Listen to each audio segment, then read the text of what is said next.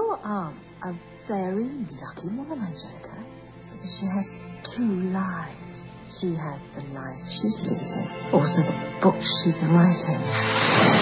Mrs. Dalloway said she'd buy the flowers herself.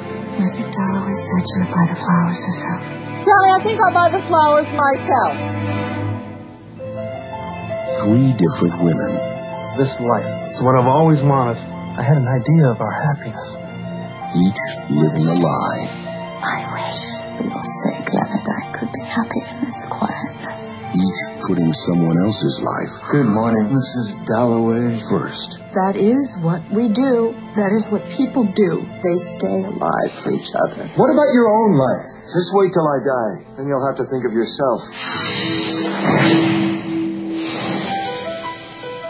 Mom, what's happening?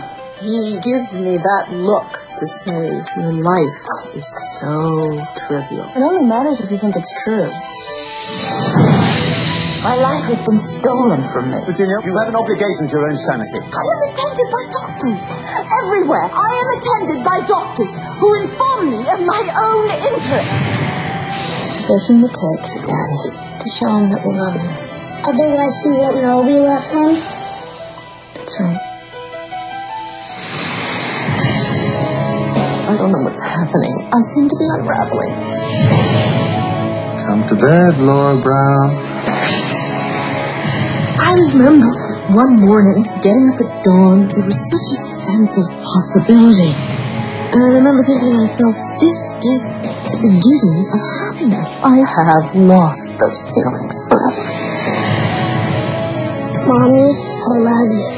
Don't worry, honey. Everything's fine. You're my guide.